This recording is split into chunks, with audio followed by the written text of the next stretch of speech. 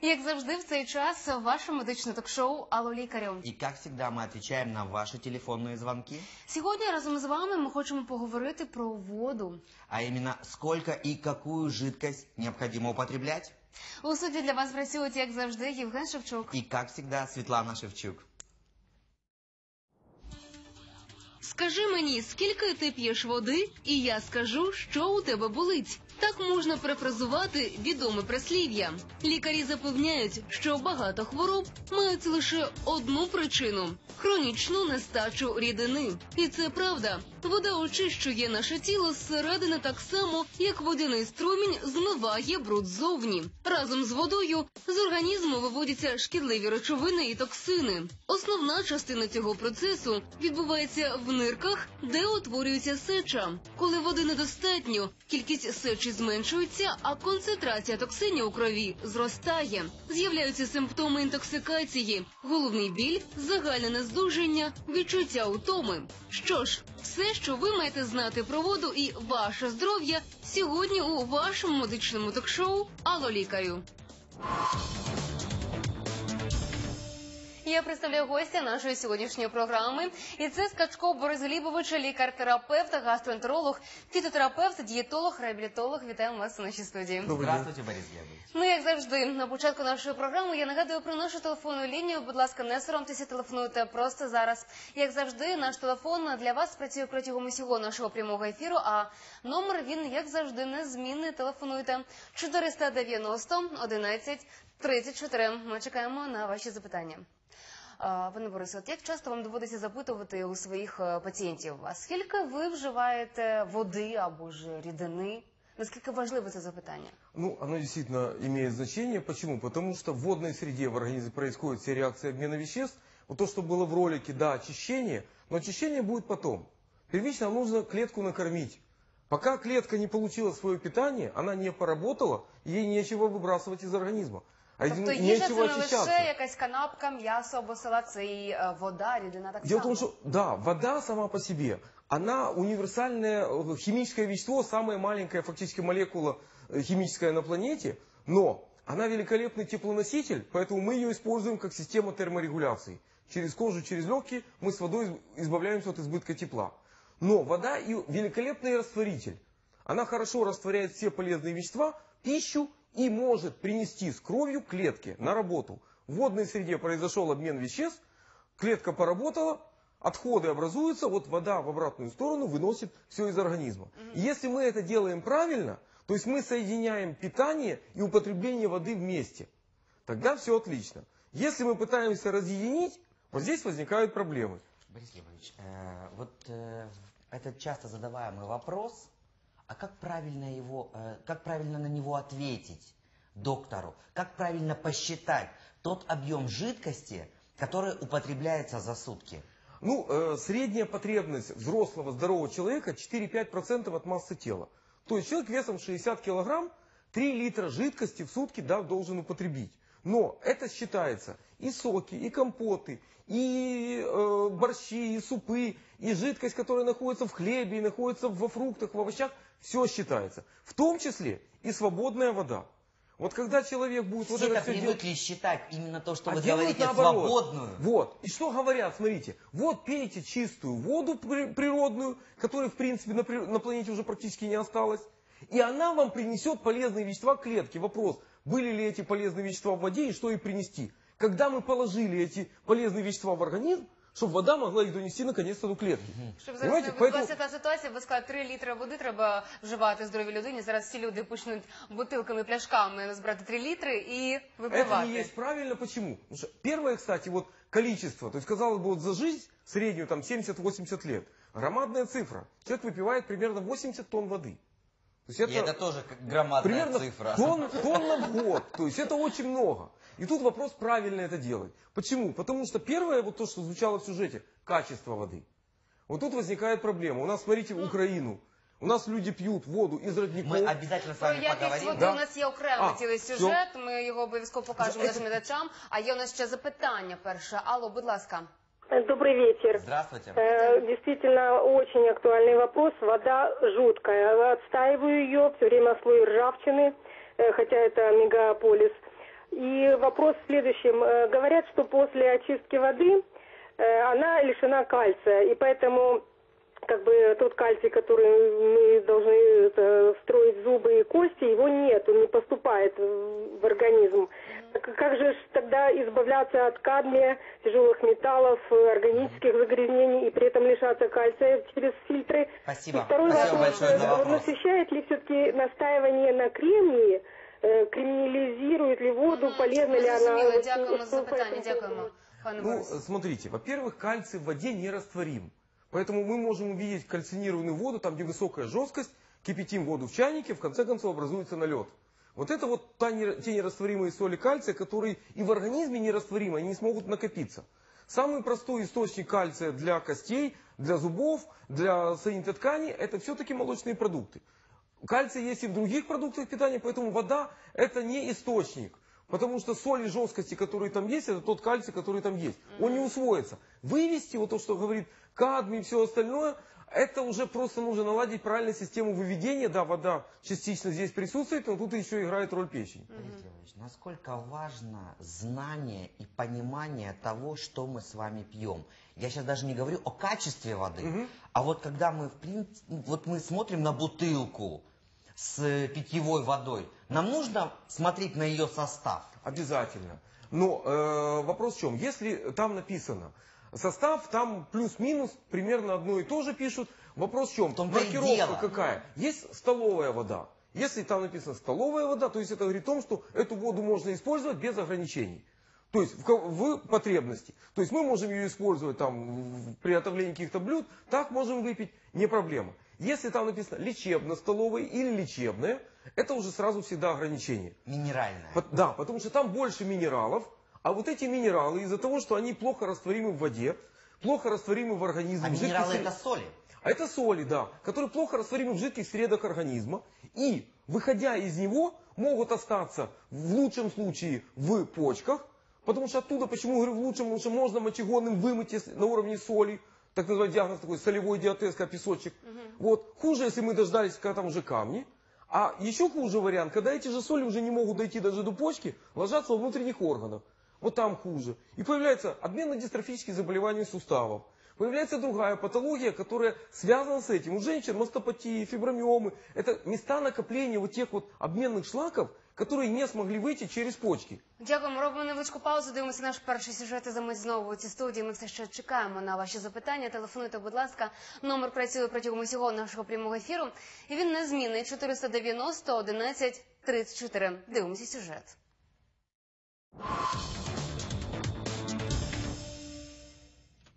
Зневоднення це патологічний стан, обумовлений зменшенням води в організмі. При цьому відбувається порушення водно-сольового балансу та рівноваги між водою і мінералами. Причини тривала діарея, інтенсивна блювота, підвищене сечоутворення, грясне потовиділення. Симптоми зниження маси тіла, сухість і в'ялість шкіри, поява зморшок, зниження артеріального тиску, підвищення температури тіла, головний біль та болісне відчуття спраги. Це програма «Алло, лікарю. Я дякую, що ви з нами. І нагадую, що сьогодні ми говоримо про рідину, яку має вживати кожна людина. І ще раз про нашу телефонну лінію 490 11 34. Ще одне запитання. Алло. Алло. Алло, Здравствуйте, слушаем вас. слуш- слушайте меня. Да. Слухаємо. Здравствуйте, спасибо Борису Скачко, что объяснил, сколько воды надо пить, жидкости, потому что рекомендации 3 литра, 4 литра, как их можно пить. Теперь у меня такой вопрос. Значит, вот замораживают воду в холодильнике. Как это делать правильно? Стоит ли это делать? Вот у меня получается замораживаю такой белый осадок и на кастрюльке, и на дне. И э, вот я не знаю, стоит ли морочить голову в обычном холодильнике. Спасибо, спасибо большое за вопрос. Ну, в принципе, стоит. Почему? Потому что это один из способов очистки воды. То есть, когда вода замерзает в стеклянной или в металлической посуде, она вначале замерзает чистейшая вода у стенок, а потом по центру остается столбик солей. Вот этот стол- столбик солей можно под холодной водой, под струю холодной воды просто удалить или ложкой убрать, он рыхлый. И мы получаем практически дистиллированную воду, которую не пить нужно, а использовать в приготовлении пищи. Тогда прекрасно. То есть это чистейшая вода, полученная природным способом, и мы ее можем использовать для здоровья. Это то же самое, что талая вода, потому что стало очень модным, очень модным талая вода. Не совсем. Талая Купуйте вода, у вот когда пляшках лише у нас. Ну вот і во- так вода далі. переходит из одного состояния в другое, действительно есть память воды, молекулы, там они организуются в какие-то кластеры и какое-то время находятся. Но вот эта память воды, там связи настолько слабые, что физики говорят, что при плюс 10 вся эта упорядоченность теряется. То есть стоит нам выпить такую воду, в комнате у нас температура выше, запустили в организм, где-то в полости рта или в пищеводе, она греется, вся структура разлетелась. А, Пане Борисе, можна якось по зовнішнім ознакам людини зрозуміти, що вона недостатньо вживає рідини? От приходить до вас пацієнт, і ви Конечно. бачите, «М, щось не так із водичкою у вас. Вы знаете, вот в начале э, ноября получилось так, съездил в Амстердам на выставку по воде. И посмотрел на людей, которые, мягко выражаясь, великолепно знают, как из ну, самой плохой воды сделать фактически воду, пригодную для питья, и понял, что они не знают, как ее употреблять. Вы знаете, такого количества безличных этих самых люд- мужчин, лысеющих и лысых, я в одном месте еще не видел. Это те люди, которые недостаточно пьют жидкости? Да, у которых не, не связана белковая пища и вода. Потому что белковая пища, она самая ядовитая по количеству токсинов, а вода это самый лучший растворитель для выведения этих белковых токсинов. Глебович, вы неоднократно в этой студии говорили о том, что белки – это Вот. основа Да, питания. конечно, потому что это обмен веществ, без них ничего не будет. Но вопрос комбинировать правильно. То есть физиологи посчитали, 100 грамм мяса, ну примерно 20 грамм белка там, в среднем, если это не жирное мясо. А на удаление белковых токсинов от 1 грамма белка 42 миллилитра воды. То есть съел человек 100 грамм мяса, он должен побеспокоиться, ввести почти литр воды в свой организм, чтобы вывести полноценно. Если нет, токсины остаются в крови, и мож- у женщины накапливается щитови- э, щитовидка, кстати, у всех, у мужчин и женщин. Поэтому узловой токсический зоб – это проблема. Матка, По поводу молочная железа, мужчин простата вот меня этот Да. вопрос немножко затронул. Э, Нет, это не вопрос, выйдите на улицу, посмотрите. Вопрос э, с мужчинами, он в принципе ясен, и я не думаю, что он такой э, острый. Если мы говорим о женщинах, которые страдают избыточным выпадением волос, мы тоже можем заподозрить э, маленькое Сло- употребление жидкости. Э, Во-первых, жидкость, потому что женщины, сколько их спрашиваешь, не допивают. А Боятся поправиться. Э, Отеки. так от- а вода-то как раз наоборот, она же помогает вывести. Мы ввели воду, она достаточно энерги- э, много энергии тратится на то, чтобы ее прокрутить по организму и вытолкнуть. Мы с ней теряем калорий. Женщины не понимают, что правильное употребление воды это снижение Будет веса. способствовать снижению веса. Конечно. Потому что в острой системе что делают? Почему, что женщины знают? Вот диета, скажем так, ограниченная по воде. И женщина теряет там, эта диета легко проверяется, за неделю 5, 7, 10 килограмм. За 2 до 20. Ой-ой-ой. Это только вода. Снизить вес за счет жиров на такой объем невозможно, потому что 1 килограмм жира это 9 тысяч килокалорий. Это труд, лесору- труд лесоруба круглосуточный. Понимаете? Вот тогда в день женщина может потерять 1 килограмм. В тренажерном зале побегала, попрыгала, попотела, подышала. Воздух у нас тоже теряем мы тут воду. Обезвоживание она видит килограмм-полтора, блеск, я так Є классно ще похудела. запитання. Алло, будь ласка, ми вас слухаємо. Алло, Добрий день. Здравствуйте. вітаємо. Яке ваше запитання? У мене запитання. Харківський масів. Яку лучше воду пити? І звідкіля? І яка вода у нас в Києві взагалі? Спасибо большое за вопрос. Ну, о э, насущном. Значит, смотрите, воды у нас какие? Есть э, водоканал, который в каждом городе делает качественную воду по ГОСТу. Есть километры труб, в которых эта вода, мягко выражаясь, хорошо видоизменяется. Поэтому первый звонок был железо, да, железные трубы, пожалуйста. Есть цинковые трубы, меня звонил товарищ с Москвы, говорит, не могу, не, не могу есть продукты питания, потому что суточную дозу желе- э, цинка я получаю с водой, а у него диабет. У него п- с цинком проблема, он должен его считать. Все. То есть он не может это делать. И в принципе, по воде, вода ну, впитывает в себя вот это все. Есть еще у нас какие источники воды? Неорганизованные, скажем так. Ручьи, э, родники, колодцы, неглубокие скважины, не артезианские. Это все поверхностные источники води. Пане Борисе, Куди тому що попадає ця наша найкраще, екологія? найкраще на запитання нашої глядачки відповість наш сюжет. Давайте усі разом подивимося.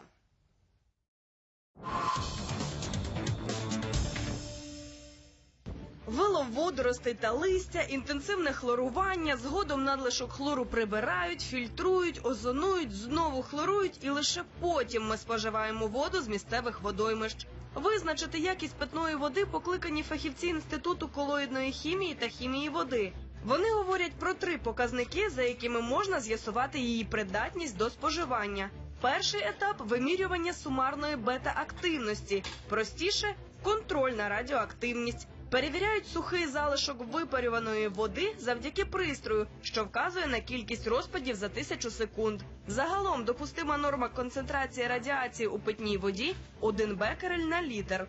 Далі визначають хімічні показники води. При наливанні спеціального розчину у колбочку з водою відбувається реакція спалах. Його інтенсивність і визначає наявність токсичних речовин. Слід зауважити, що задля зйомки нашого сюжету і наочності умови досліду були дещо змінені. Насправді процес набагато складніший.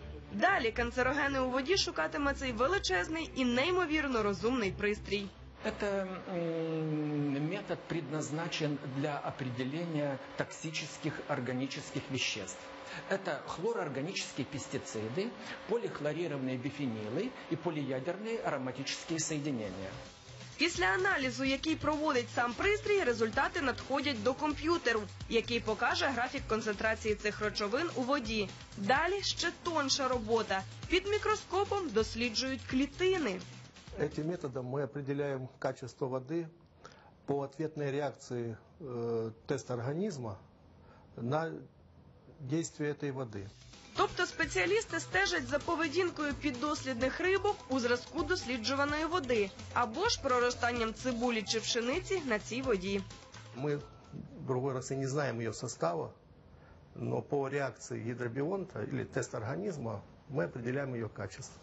Гибель тест організму або ж його хворобливість свідчить про непридатність такої води до споживання. Проте не завжди здорова зовні рибка є такою ж середини. А вже про це скажуть клітини наших підослідних елементів. Спеціаліст може визначити придатність води за цілісністю клітинного ядра тест організму Це вже генетика. Как мы уже видим на экране, у нас есть э, деформированные клетки, то есть двойные ядра и микроядра, где ядра поделились они неправильно. Это и есть, э, что в воде есть токсические вещества. Вода необхідна в будь-якому випадку, то ставтеся до її вибору максимально відповідально. Це програма «Мало лікаря. Нагадую, що сьогодні ми говоримо про рідину, яку має вживати кожен з вас. Я дякую, що ви з нами. І ще раз про нашу телефонну лінію 490 11 34. Ваше запитання, алло. Е, Добрий вечір. Будь Вітаємо ласка, вас. лікарю, е, як на вашу думку, яка краща вода? З, е, крана ну, налити і відстояти її там кілька годин, чи з бувета? Дуже дякую вам. Мгм. Ну, лучше все-таки с крана. Почему? В бювете есть так называемая устранимая жесткость. Бюветную воду, когда люди кипятят, появляется осадок. Это, в принципе, то, что делается на водоканале, убирается вот эта жесткость. Вот, поэтому это тоже очень важно. То есть можно взять бюветную, не отстаивать ее нужно, закипятить, дать отстояться, потом слить и использовать уже ее в приготовлении пищи. Мгм. Дякую. Напрямую почки лягут. У нас є запитання ще з форуму до вас. От запитання від е, Вероніки. Знаю, що для підтримки водного балансу Борис Глібович, е, себто ви радить вживати різноманітні компоти та соки. Та у мене а, вони часто викликають печію, оскільки маю підвищену кислотність. А які напої порадити мені, як правильно вживати? Ну, есть еще у нас супы, борщи, у нас есть другие источники жидкости. Не треба про них Да, забувати. то есть надо просто все в комплексе использовать. Один сок компот, он, конечно, не, не пойдет, потому что кислота ну, есть. Трудно э, утром э, чашеч- чашечку э, Чая, ба- кофе ба- можно. борща, да. Мо- Можно чашечку чая, кофе, тоже источник жидкости и как аперитив. То есть оно лучше просто пищеварение, не вопрос. То есть самое слабое место, почему? В воде, чистая вода. То есть стакан воды уходит из желудка час. Вопрос, который, я думаю, очень многих беспокоит. Ваше отношение, в принципе, к бюветам, вот которые у нас повсеместно, это стало модно, это стало, я не знаю, Всі родиною неділю ходять Да, до бюветів да, і да, набирають да. воду. Бювет это здорово, но за, за его состоянием нужно следить. Почему? Потому что в трубах имеют тенденцию накапливаться бактерии, они вырабатывают свои токсины и отравляют фактически тех людей, которые ее используют. Поэтому тут нужно просто за бюветом нужно следить. Поэтому посмотрите, у нас периодически вот санстанция приехала, бювет закрыли. Почему закрыли? Потому что вода не соответствует требованиям. Потому что, казалось бы, мы берем бю- через бювет артезианскую воду, берем глубоко, там ничего не должно быть, но за этой скважиной нужно следить, так же, как человек должен следить за той скважиной, которая у него стоит на подворье Но дома. если мы говорим о качестве воды артезианской, это эталон? Ну, артезианская вода при хороших трубах, она лучше, чем поверхностная вода. Почему? Потому что у нас... Я повторюсь, это эталон воды все-таки. Нет, это не, не эталон воды. Почему? Потому что там могут быть примеси. Эта вода меняется. За ней нужно следить в режиме реального времени. Или ставить какие-то системы очистки или до очистки воды, чтобы мы были уверены, что если там что-то проскочило, то к нам не проскочит это на кухню, в продукт питания и в организм. А, чи правда, що нестача рідини в організмі і нестача недостатня кількість вживання рідини на добу може спровокувати запори? Ось Э, такий Может, симптом. потому что один из вариантов, то есть э, для того, чтобы кал выходил, он должен механически раздражать, должен быть объем. Если человек пьет мало жидкости, у него может образовываться так называемый овечий кал. То есть сух- сухой самый, он не раздражает активно стенку и э, фактически дольше застаивается.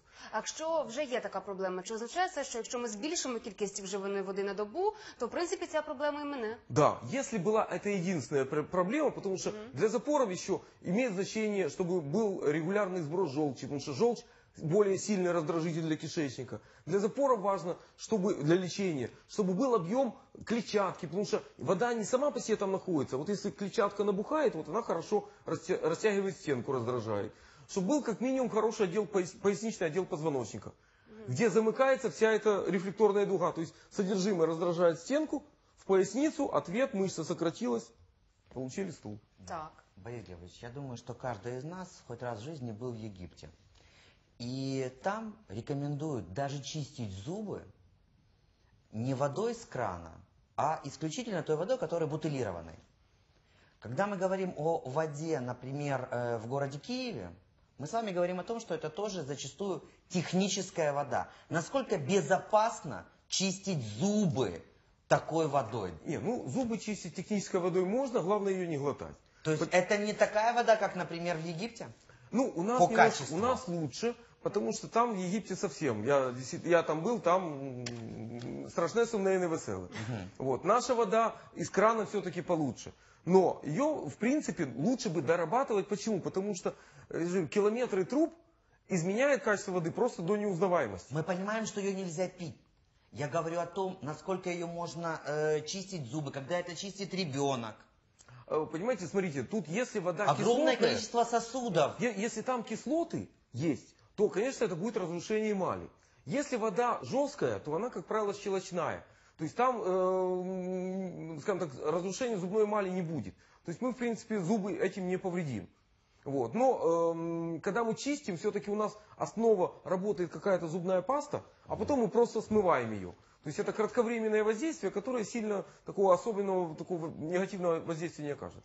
Дякуємо. Ще одне запитання з форума. Давайте почитаємо від Марини запитання. Хотелось бы узнать ваше отношение к воде в бутилках Аляска, Небесна Криниця, Малятко і так далі. Дійсно, тому що зазвичай люди обирають лише пляшку воду, ходять до магазинів, купують, щоб вживати для себе, для своїх дітей. От дійсно, от ви як обираєте воду в пляшках? Чи ви купуєте цю воду? У меня стоит фильтр. Я просто доочищаю воду. Почему? Потому что все-таки, э, скажем, эту воду кто-то готовил, и я э, понимаю, что мы живем в Советском Союзе. Вот. И человеческий Борис фактор его не а изменит. ваши фильтры тоже кто-то готовил. Я знаю, кто готовит мои фильтры. Понимаете? Я И- знаю. И, разница в том, что где-то кто-то готовил и готовили фильтры. Мои, мои фильтры контролируют каждую партию. Это я, это я четко знаю, я просто выбрал себе производителя, который э, это делает. Почему? Потому что э, А реально... люди не знают. Мы говорим сейчас, вот Светлана Да. задала вопрос конкретно вам, а Смотрите, когда мы говорим... э, Бутылированную воду, для того, чтобы она была безопасна. Что там может быть? Человеческий фактор это бактерии, это вирусы. Понимаете? И вопрос в чем? Если эту воду мы пьем, мы где-то рискуем. Если, потому что мы не, мы не можем провести этот анализ. Если мы эту воду используем для приготовления там, супов, компотов, мы рискуем меньше. Почему? Потому что все-таки термообработка этих бактерий инактивирует, вирусы погибают, и фактически вода становится безопасной. Потому что пару лет назад, ну, года 3-4, зимой была вспышка вирусного гепатита среди детей. Эта инфекция сезонная, после того, как летом дети напились вот, э, природной воды, сентябрь, октябрь, закончился э, э, инкубационный период, и все закончилось. Зимой это только вот такой вот источник сырой воды. То есть где-то в бутылках Де- проскочил деякі вирус Дуже гепатита. обережні батьки, вони два рази кип'ятять воду. Нет, достаточно один раз. В принципе, можно, если мы используем ее для приготовления пищи, уже там она кипит, уже там бактерии погибают, потому что, как правило, приготовление это не меньше получаса. Давайте послухаємо ще одне запитання. Алло, будь ласка. Алло. Здравствуйте, слушаем вас. Ваш Мою- вопрос. Мой вопрос. Если я все постоянно пью только кипяченую воду, другой не пью, как это, вредно или не вредно? Скажите, пожалуйста, а это фильтрованная вода или нет? Нет, не фильтрованная, просто из-под крана вода, кипяченая и все. Спасибо, спасибо Я большое думаю, за вопрос. Смотрите, если мы берем просто водопроводную воду, то, учитывая то, что ее хлорирует, нам нужно поставить ее в открытом сосуде, чтобы хлор, летучее соединение ушло.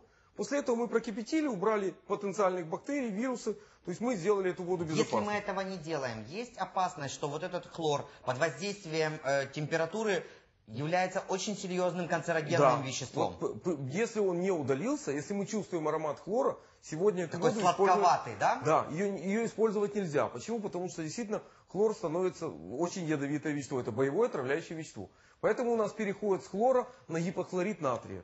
У нас пытаются сделать тоже хлор, но в другое соединение. То есть в Киеве скоро будет такая вода.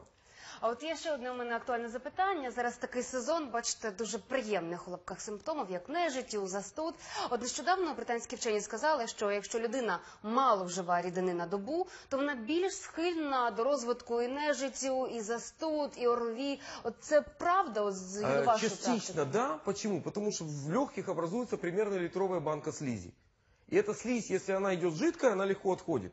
Если воды не хватает, слизь более густая, и мы можем чаще обострять привычный хронический бронхит, там э, трахеобронхит будет обостряться, там, где слизь гуляет. Э, насчет насморка вряд ли. Вот осложнение, да.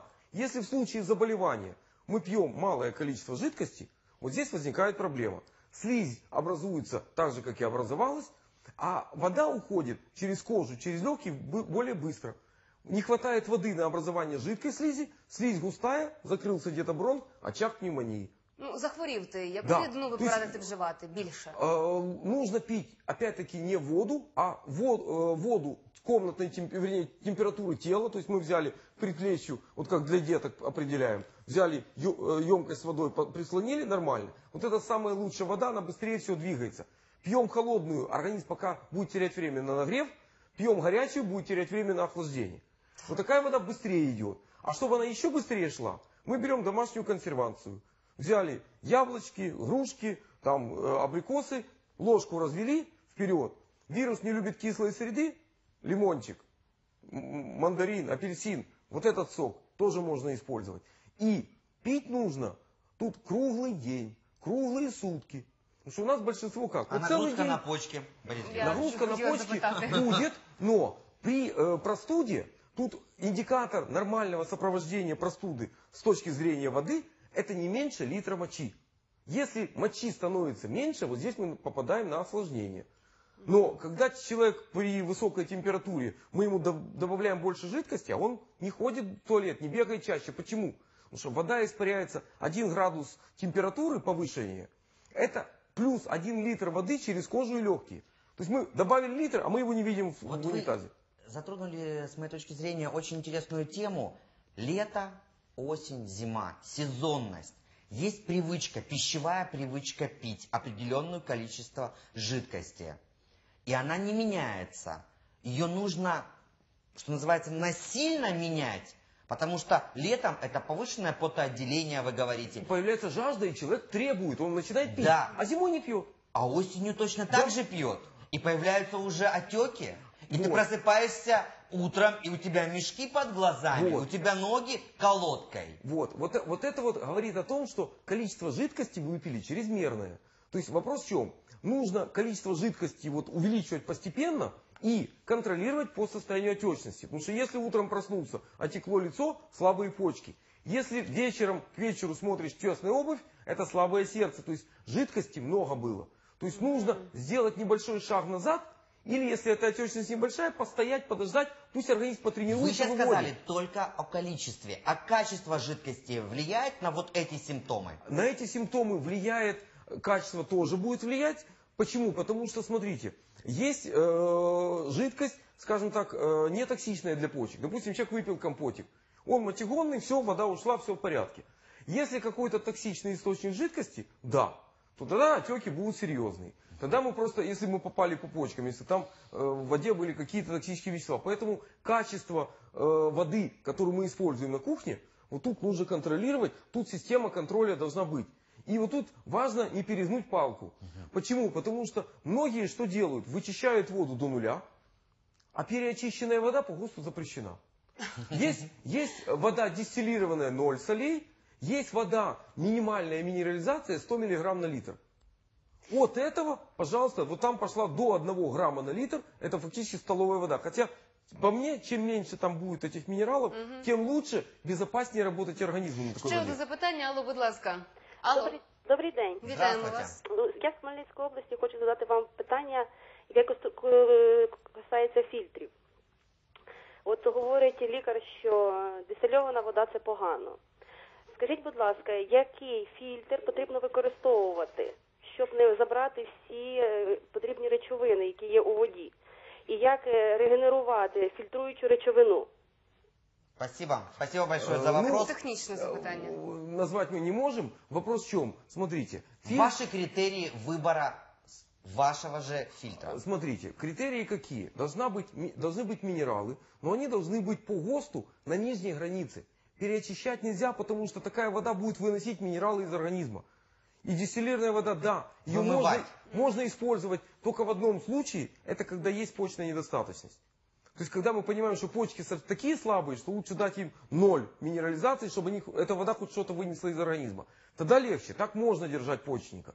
Вот. Всем остальным вода не должна быть переочищена. Потому что вот те соли, тот минимум, минимум солей, которые попали, вода вымоет. Потому что пот у нас не дистиллированная вода. Определять дома минерализацию Это своей нужно воды? смотреть в сопровождающих документах. То есть э, пишут, там все это пишут. Вы знаете, на что смотрят? Количество этих И, фильтров. и- и литры, да. Вот, и количество литры. фильтров, да? Стоимость этого фильтра. И вот это модное слово обратный осмос. Да. Вот это Вот это э, вот очень модное слово. Вы знаете, в Европе я посмотрел. Расскажите, Самым обратным пожалуйста. осмосом люди пользуются, они все лысые ходят. Почему? Потому что такси, э, когда э, фактически ноль солей на входе, а есть еще, еще одна система, когда эту воду минерализуют. Но минералы дают синтети, ну, фактически неорганику. Я как-то посмотрел, корейцы додумались, вообще молодцы ребята. Вот, Э, вот это минерализ... химия. Да, чистая вода, можно ее обогатить. Но нужно, во- вода может обогатиться чем? Теми полезными веществами, которые находятся в растениях. Кстати, вот там вот есть вот та самая, то, что говорят, природная чистая вода. Так, невеличка пауза, ви подивитеся наш наступний сюжет і за мить знову у цій студії. Ми все ще чекаємо на ваші запитання. Телефонуйте, будь ласка, 490 11 34.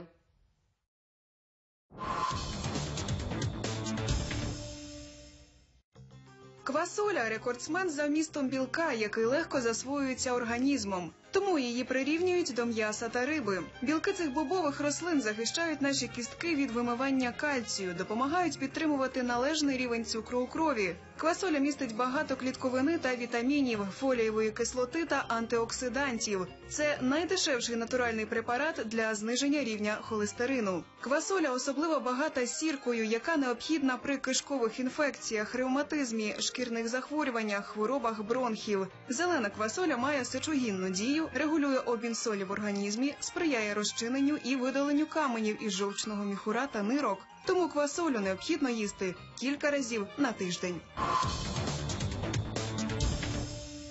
Це програма «Ло лікарі». Нагадую, що сьогодні ми говоримо про те, скільки яку рідину має вживати кожен із вас щодня. Я дякую, що ви з нами. І наша телефонна лінія 490 11 34. Ваше запитання? Алло. Алло. Здравствуйте, ваш вопрос. Добрый вечер. Я хочу спросить, возможно ли летом заменить употребляемое количество воды вживанием фруктов и овощей? Без воды вообще, это первый. Второй, читал ли уважаемый доктор, чудную книжку, которая в следующем году будет 100 лет. Арнольд Эрот. Бесслизистое питание. И желательно, э, может быть, вы йогой, может, вы йогой занимались. Это что спасибо. слизь Спасибо большое за вопрос. За Э, Ну, э, можно заменить, есть э, сыроедение, есть э, фактически соколечение. И вопрос в чем? Летом э, человек э, может фруктами и овощами заменить еду. И нужно это делать по одной простой причине. Когда человек съедает мясо, и это хол- когда в холодный период года, он согревается. Летом кусок, тот же кусок мяса перегреет организм.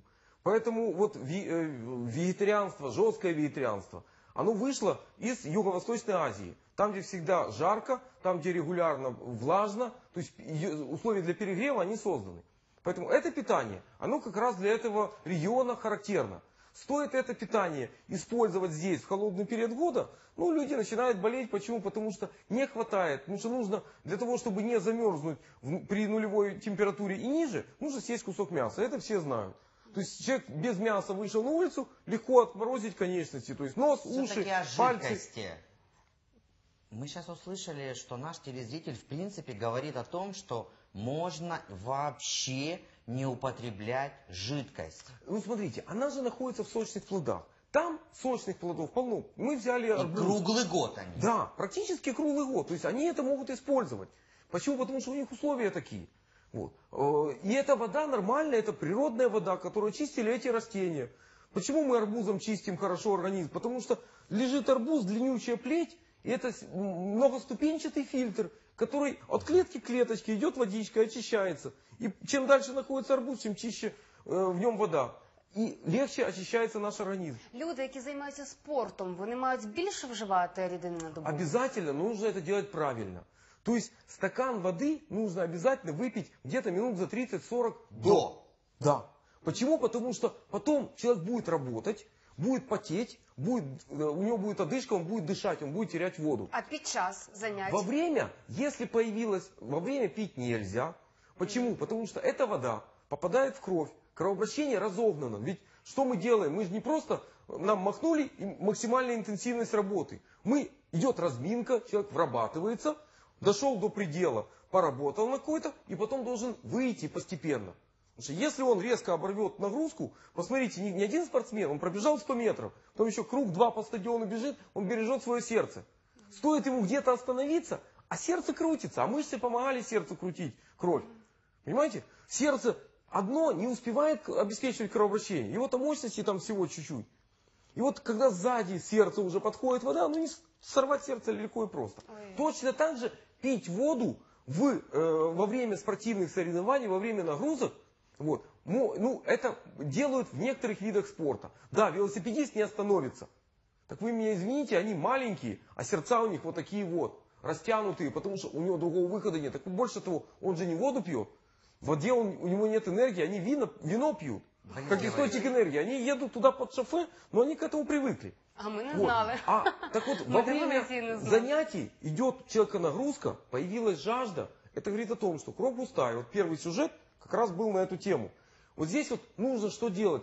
Мы уже а, а, из санитной ткани вода не успевает подходить, кровь густая, нагрузка на сердце. Ночное- Человек должен тормозить нагрузку, посчитать свой пульс, пульс вернулся в норму, давление вернулось в норму, то есть сердце Кто это будет делать? Это нужно делать почему? Потому что пример лошади, он очень показателен. Возьмите разгоряченные лошади, которая И прибежала, вот такими глазищами будет смотреть, дай воды.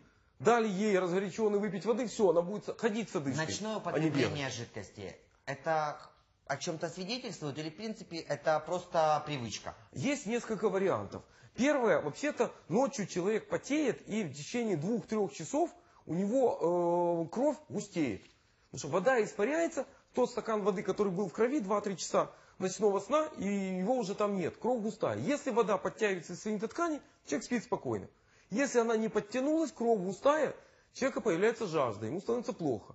И риск э, вот, э, ночного, ночной смерти вот в этом случае повышен. Поэтому с часу до трех ночи это самое урожайное время по острой сердечной недостаточности во сне. Якась страшна у нас тема. Во- виходить. Вопрос в чем? Что нужно сделать перед сном? То есть перед сном нужно съесть какой-то продукт, лучше какие-то овощи, какой-то винегретик, а еще лучше супчик.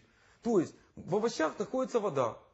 Она будет медленно всасываться в кровь, разжижать эту кровь. Кровь жидкая, все нормально. Є ще одне запитання. Алло, будь ласка, ми вас слухаємо. Алло, Вітаємо. Яке ваше запитання? алло. Ваше запитання, алло. А, добрый день. У меня такой вопрос. Э, Мы говорим о жидкости, о воде. Я, я, алло, алло, Ми вас слухаємо. да. Жидкости. Да. Сколь, значит, пью э, это чай, это вода, кофе, это вода, компот, там, э, борщ, супы. Я читала, что чай, компот и кофе это не вода, это еда. А пить Абсолютно воду нужно простую воду, полтора-два литра. А вот это уже неправильно. Так, дякуємо. Спасибо. Частина Смотрите, то, то, с чего мы начинали передачу, то есть вода это среда, которая должна принести полезные вещества в клетку. Поэтому плохо, когда у нас эта вода в виде чая. Скромненький напиток, потому что из одного чайного листа мы что-то извлекли. Лучше, если это кофе там с чем-то, там больше извлекают. Бо- мы больше целую экстрактив- передачу посвятили чаю. Да, а еще лучше, если это супы, компоты, то есть мы в эту воду извлекли из многих компонентов какие-то полезные вещества. И они дойдут до клетки, поработают там. Стоит вот пить чистую воду, где, кто, когда вам положил в кровь, в организм какие-то полезные вещества, чтобы эта вода могла донести. Зачем делать два движения, если можно сделать одно? Пока Абсолютно поели, а правильно. потом будем пить. Давайте дуже швидко Вместе. спробуємо послухати ще одне запитання. Алло, будь ласка. Алло, Алло. Здравствуйте. ваше запитання. Алло, здравствуйте. Алло. Ваше запитання, будь Э, ласка. вітаю. скажите, по- алло. Ск- Скажите, пожалуйста, а молочные продукты, молоко в данном случае, относится к жидкости? Дякуємо, Спасибо. дякуємо. Спасибо большое. 90% воды, то есть любой продукт питания, даже хлеб, казалось бы, он сухой, а там есть все равно вода. То есть любой продукт питания можно использовать как источник воды, и это правильно. Почему? Потому что ну, без этого обмен веществ не идет. Их мы нужно вами комбинировать вместе. говорили о том, что молоко сам по себе очень тяжелый продукт. Ну, он тяжел, если нарушена пищеварительная система. Вот у людей пожилых, у них плохо перевариваются э, белки молока в желудке, поджелудочная плохо переваривает, потому что панкреатит есть. Поэтому кисломолочные продукты как вариант. Вода та же. Молочные, но не цельное Да, да, так, молоко. так просто лучше. Так просто быстрее переваривается. То есть для того, чтобы все-таки человек вот забро- забросил какую-то пищу, еще у него было время на работу, то есть молоко просто дольше переваривается, поэтому хуже. Но, кстати, вот на ночь, то, что я говорил, то, что делает большинство. Вот супчик съели, отлично, ночь кровь жидкая, стоит съесть кусок мяса, мясо на себя тянет столько воды, утягивает ее в кишечник, кровь становится густой. Поэтому многие после мяса чувствуют чувство жажды. Тобто м'ясо ввечері На не, ночь не їсть. это очень приличный риск, вот загустить ночью кровь и как минимум вызвать карету скорой помощи с гипертоническим кризом или Как с ишемической минимум болезнью кошмар. сердца. Давайте как минимум Да. кошмарный сон. А, А не а- карета а скорой гастрономические помощи. сны это с гарантией, потому что мясо будет гнить. Ми вам дякуємо за участь у нашій сьогоднішній програмі. Приходьте ще, ми будемо вам раді і міцного здоров'я. Спасибо большое. А, е, Я нагадую, що гостем нашої сьогоднішньої програми був Скачко Борис Глібович, лікар-терапевт, гастроентеролог, фітотерапевт, дієтолог, реабілітолог.